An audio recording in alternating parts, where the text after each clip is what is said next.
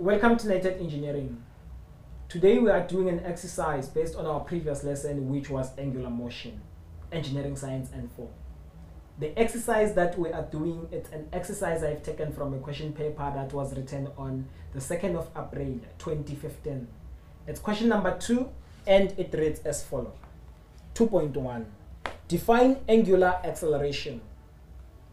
Angular acceleration is the rate of change of angular velocity. And then we go to the question to the second question, which is 2.2.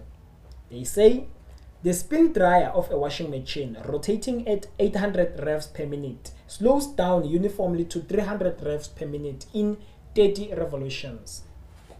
And then the questions they say calculate the angular displacement of the spin dryer. The second question calculate the angular acceleration. Third question calculate the time required to turn through 30 revolutions. And this is the information that we are given.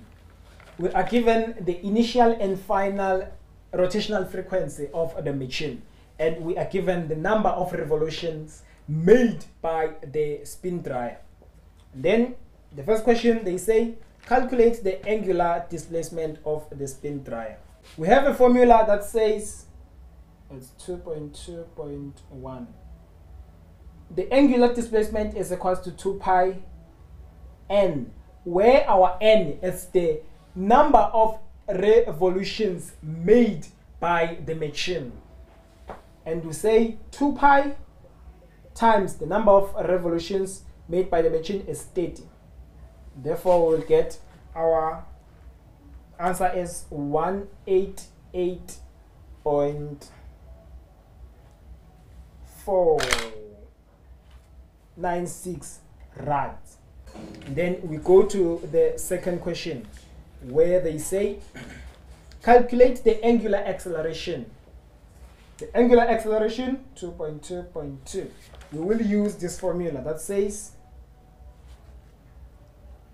final angular velocity squared is equals to initial angular velocity squared plus 2 times the angular acceleration times angular displacement. We have this, we have this. Or we can calculate these two since we have the rotational frequencies. And then this one we have. The only thing that we do not have is the angular acceleration which we are trying to get. So first we have to get the angular velocity. Number one, we use the initial rotational frequency using the formula 2 pi n where now our n is the revolution the rotational frequency given in revolutions per second. When you are calculating for the angular velocity our n capital letter n is revolutions per second. Is the rotational frequency here we were calculating for the angular displacement. Our n is the number of revolutions made by that machine. So we say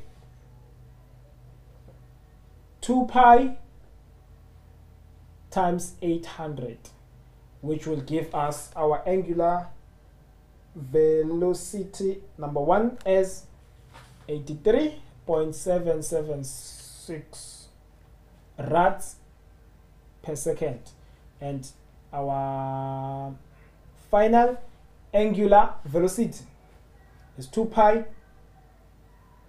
times our final rotational frequency which is 300 and we get an answer of 31.416 rads per second. And then we come to this equation we make the angular acceleration the subject of the formula which will give us w2 squared minus w1 squared divided by 2 times the angular displacement which will give us uh, 31.416 squared minus 83.776 squared 2 times the angular displacement which is 188.496 and then we get our angular acceleration as negative since we can clearly see that it is a deceleration. Negative 15.999 rads per second squared. And then we go to the third question. They say calculate the time required to turn through 30 revolutions. Then now we will use this formula 2.2.3 we use the formula that says final angular velocity it's equals to initial angular velocity plus angular acceleration times time we are looking for the time we make it the subject of the formula which will get w2 minus w1 divided by alpha. We substitute we already have all these variables. 31.416 minus 83.776 it's it's deceleration therefore we include the negative sign 15.999 and we get the time as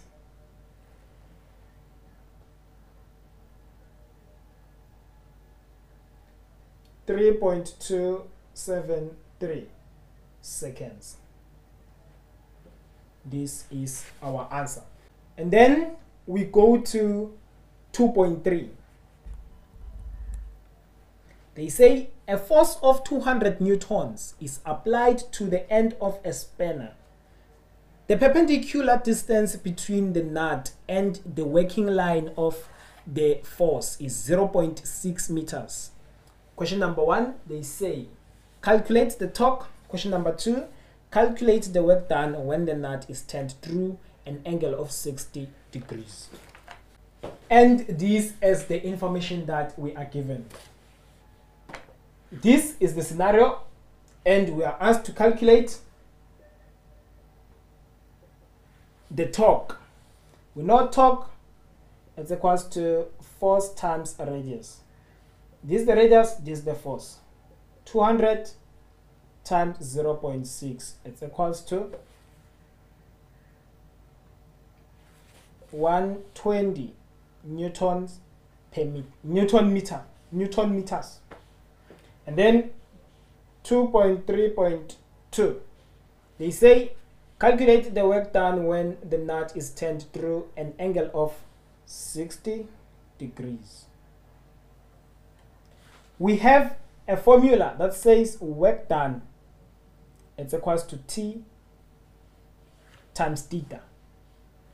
It is in our formula sheet torque we have. This, we know we are dealing with angular motion.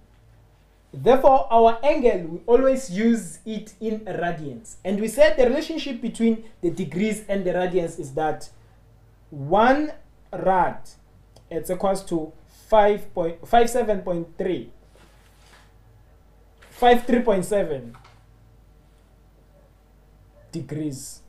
Therefore, we have 60 degrees. We want it in radians. We'll cross multiply and divide and we get that our answer will be 1.047 rad.